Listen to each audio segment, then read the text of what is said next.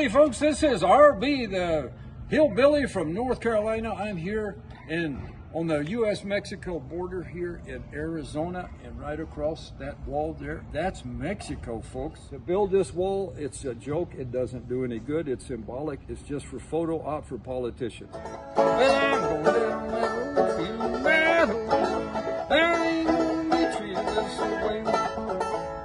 So, when I grew up there in Surry County near Elkin, North Carolina, that people were kind of like afraid of Mexico for some reason. They say, don't go to Mexico. Don't go near the Mexicans. They'll pull, get drunk and pull out a knife.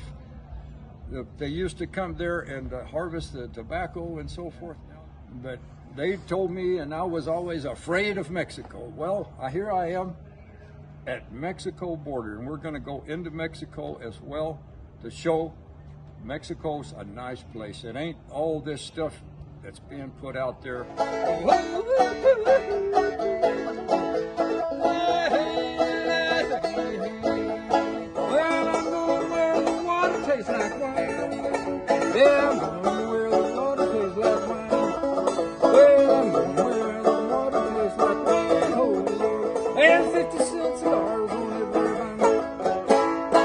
Welcome, folks, right here, uh, back here on the U.S.-Mexico border in the state of Arizona, the state of Sonora on the other side.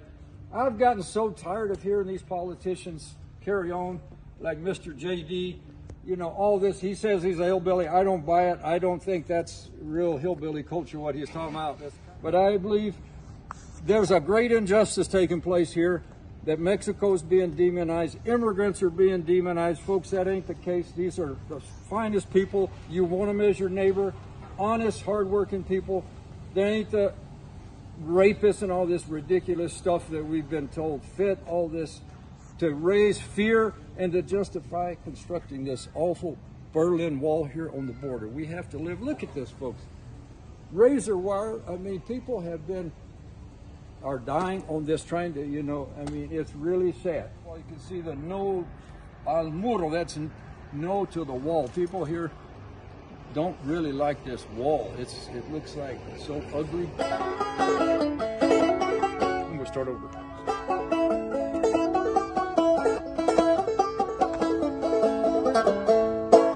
Been living out here a while because I really like it, I tell you the truth. And the people are so nice in Mexico. And we're going to be reporting on what's really going on here on the border, how the money's being wasted on this border wall, how a lot of these, you know, border patrol agents they're making life tough for people here because they there's a they, they have, they're a little bit trigger happy, and so a lot of people getting shot and so forth. It's really out of getting out of control. A rancher recently killed a Mexican crossing his land. I mean, this is getting dangerous around here. This is a totally broken system. Okay, we need immigration reform. All right, ready, folks? So the billions of dollars being spent on this wall here needs to be spent on people, social services, education, and healthcare, and so forth. This is the biggest waste of money ever to build this stupid border wall. They can't, you cannot seal a 2,000 mile border like they. I feel like they're trying to imprison everybody on this side. We're going to turn the whole United States of America into one big prison. That's what's going on. I don't want to live in a big prison.